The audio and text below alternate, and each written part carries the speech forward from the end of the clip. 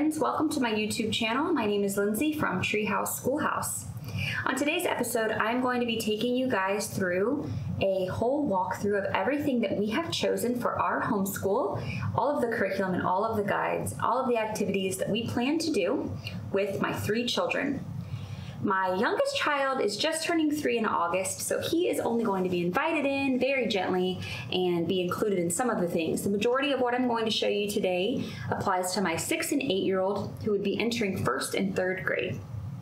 That being said, as home educators, we do not put them in grade boxes and we simply progress through curriculum as it makes sense for each child. As long as they're being challenged and they're progressing, I'm good with that we choose to do most of our learning in family style way, which means that I try to use as much as I can teaching my two children together, slightly adapting it for each of their needs. All right, ready to jump in? Okay, so first up is Bible. During breakfast, my husband leads our Bible time. We have used many devotionals over the years, and this year we are going to be continuing The Ology when we're finished with The Ology, we're going to go back to one of my favorites, our 24 family ways. We did this in the past, and I'm ready to do it again and refresh their memory and also include my three year old. Along with our 24 family ways, we're going to be using the scripture sets from my shop. Every scripture in this book that we are asked to memorize comes with in the scripture sets, you have a full page, you also have an index card, you also have copy work and other games, cut and paste activities. So we will be doing the scripture sets along with our 24 family ways. All right, let me show you a little peek inside of both of those. So this is The Ology, and this book goes through these different topics, and there's each each entry is a short reading and some scripture. And then from there, my husband just does some discussion and prayer, and we choose one of these verses for the week to memorize.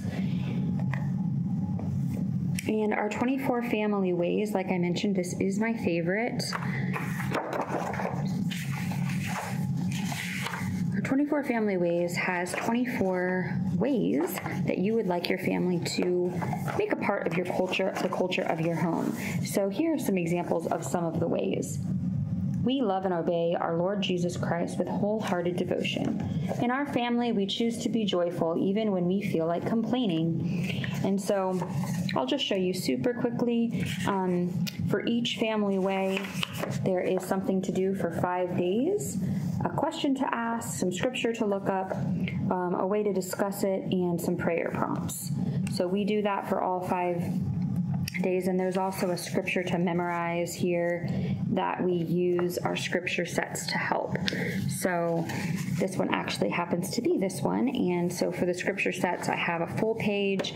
I also have copy work, and I don't have it all here right now, but there, there are um, a few more activities that go along with the scripture with each scripture set. So we will be doing the scripture sets alongside our 24 family ways. Next, I'm going to show you guys morning time. So for morning time, we gather all together. My baby kind of wanders around, my three-year-old is there, and my six and eight-year-old. And this is the time of our morning that we do our beauty subjects, and I try to include my three-year-old as much as possible. So the first thing we do in morning time is our, our traceable calendar. This calendar is from my shop. And what you're going to see here is you're going to trace the numbers with a dry erase marker. And then you're going to see the date and time chart. And over here, they circle the day, the month, they write the date, and they do the time. And then you have the weather, and the temperature and the clothes that they should wear. So I, I, love these morning time menus that I slide all of these sheets into. And my three year old will also have one and he'll probably just doodle on it so first we always do that. The next part of morning time are going through our beauty subjects. This year, I have chosen to create Treehouse Nature Study, and I'm going to use that for the rest of our morning time. So in Treehouse Nature Study, we're going to do um, the folk song, the hand rhyme, the poem, and the picture study, and then we're going to read one book or two from the Nature Study book basket. This section right here is what we're going to do for morning time. So you can see here that for the folk song, we're going to click the link to Spotify, and we're going to sing along using the lyric sheet, and this will be in their morning time menu. Then we're going to do the hand rhyme and we're going to click to YouTube, which they'll see themselves and me doing the hand rhyme, or we may just do it since we'll know them. And this will also be in their morning menu. For poetry, there is also a display sheet and it will be in their morning time menu, and each day in morning time, there will be some way for them to interact with the poem. So we'll do this section in morning time, either doing a poet study or um, doing the copy work. So we'll do whatever it says here for poetry.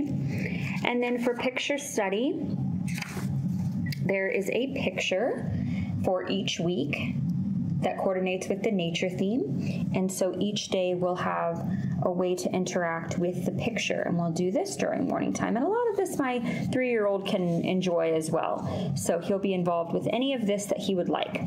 For Nature Study Book Basket, for each week there is also a book list and I am going to choose a book from the book list that my littlest guy would enjoy, and I will read that during morning time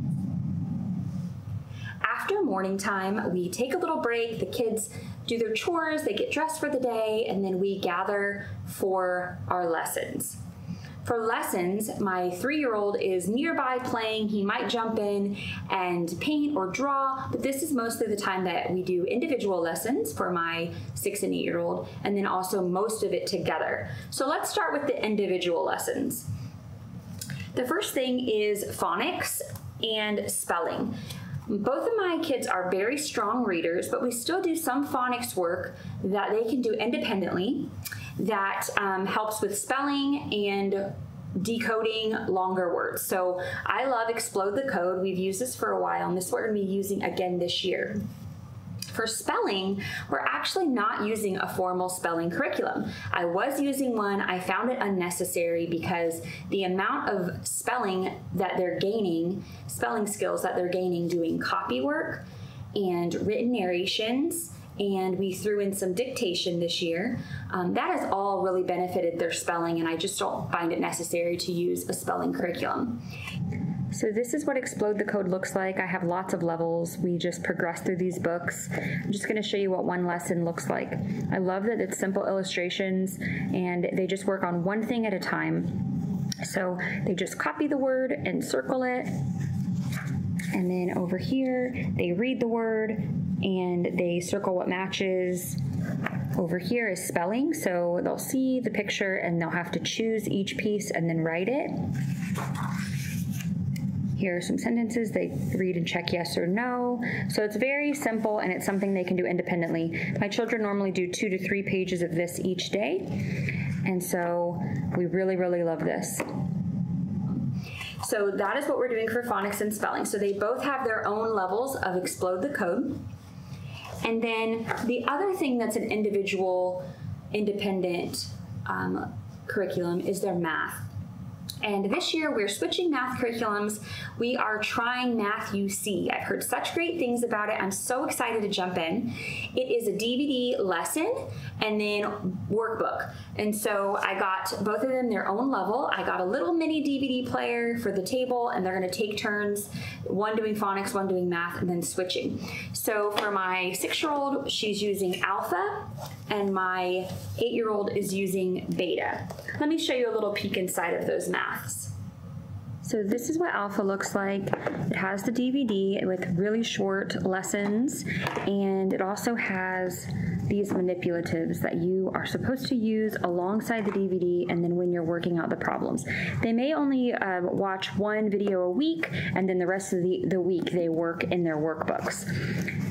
So I will do a full review of this curriculum after we give it a try for a while, but this is just very new to us. I don't know a ton about it yet. Um, I will be updating you guys though on this. So The other thing that my children do independently is independent reading. For both of my core curriculum, which I'm going to share in a minute, and uh, Treehouse Nature Study, which is my other core curriculum this year, there are book lists that are very extensive and awesome. So I fill up a book basket every week from the library with books on history and books on nature, and we have a designated time in our day where the kids use books from that basket to do independent reading.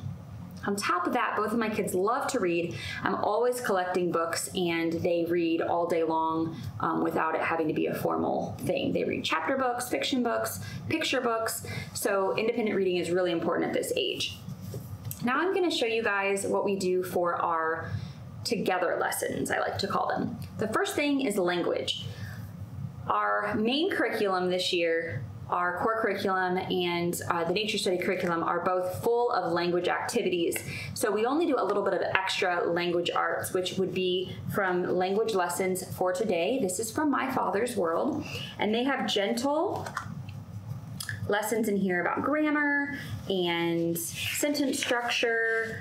They also have some poems and picture study, which we kind of just quickly look at or we um, we just enjoy we don't you know memorize because we're doing so much of that in morning time but i just really love this very simple book we're almost finished with grade two we're going to move on to grade three when we complete it okay now it's time to tell you all about our core curriculums the first one is adventures in us history we are not even halfway through this because we take our time, we stretch it out each week to two weeks sometimes. I do not use every element in Adventures in U.S. History. What I do use from this book is primarily sometimes the Bible. I use everything in this history section, almost always the book basket. They have an extensive book list in the back, and this is where I get those from. Their music study is also excellent. And that is about it. Sometimes they, they have a read aloud that we do that coordinates with what we're learning in history. So they have a daily lesson plan. I love this curriculum. You can absolutely uh, just use this. I just choose to pick and pull from it. And so I pull from this. I also have been pulling a little bit from the Playful Pioneers by the Peaceful Press um, because there that curriculum is based around the Little House on the Prairie series, which Adventures in U.S. History also reads a lot of those books. So I've been pulling from that as well. And then honestly, I pieced together my own my own resources um, using the themes in this book. I just love their book list, so that is primarily why I use My Father's World Adventures in U.S. History is for their timelining and their book lists. So um, that is our one core curriculum, and then of course our other core curriculum this year is Treehouse Nature Study. So during our together lessons, we do um, language arts. We do any readings from both history and nature. We do narrations. We do notebooking for both subjects. And then we do any projects for both subjects. So for history, we have hands on projects, and then also for nature study. So in Treehouse Nature Study, there's a nature connection at the bottom each day for each week uh, surrounding the theme. So, for example, on Monday, um, on the autumn equinox week, it has you doing a nature walk with this. So, this would be something we would do kind of at the end of our school day, and we'd bring the three year old along, um, read over the autumn bucket list, and add your own ideas. So, this is something we would also include him in. So, it just kind of depends on what the activity is, on if it's something he's going to be involved with. Um, on Wednesday and Thursday, the na- nature study notebooking. This is a little um, more advanced, and so we're going to be doing this towards the end of our lesson time together. And then on Friday, an autumn equinox tea party. Of course, he would love to be involved with that, so we'd be baking together and doing that all together. But at the bottom each day of your lesson plan, you're going to find that nature connection. And so they are also our handcrafts and investigations and experiments. So that is how um, we're going to be including our nature connection. So, lastly, is our loop subjects. A loop subject for me personally is simply something that is kind of an extra that we don't do every single day, but we either rotate through them or I just decide which one we're going to do each day. the loop subjects that we're doing this year are sign language, and I'm using a resource from Signing Times Classroom Edition. It's a digital download. There are videos, there are flashcards, and activities. And I'm then the other one is music study. So for with Adventures in U.S. History, I mentioned they have music study. I love their music study. That is what we do for that. My children are also uh, possibly taking piano this year, so that's exciting. And art this year, uh, of course, we do art projects and also notebooking includes art, but this year my kids are also taking a homeschool art class in our little downtown um, once a week. So that's going to be the primarily the, the bulk of our art lessons. And then practical skills and handcrafts, these things are very much involved in both of my core curriculum. Adventures in U.S. History has projects and crafts, and so does Treehouse Nature Study. If there's anything additional I want to add, like sewing lessons or anything like that, I would consider that a loop subject that we don't do every day, but we just kind of throw in whenever works.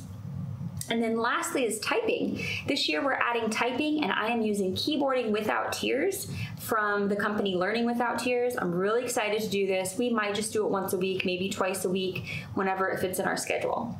So that is everything that we're using this year. I hope you found that helpful. You can look below and check out all the links to all the things that I mentioned. And you can also find a link to a blog post where I detail it out in that way. I hope that you enjoyed that curriculum overview of everything that we're using this school year. If you have any questions, always reach out and definitely check out all the links below where you can find all of the resources that I mentioned. You can find where, where you can purchase them. And also I posted a blog post that share, shares all of this in detail that you can also read there. Don't forget to like and subscribe if you enjoyed this video and you would like to see more.